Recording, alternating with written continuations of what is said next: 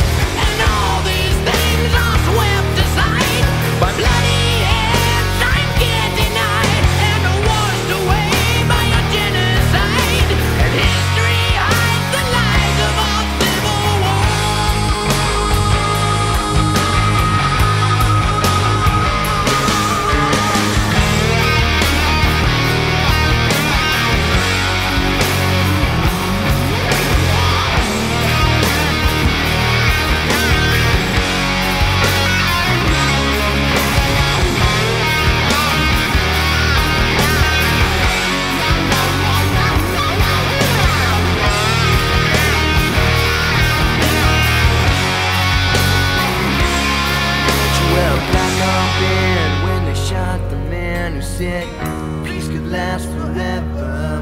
And in my first memories, they shot Kennedy.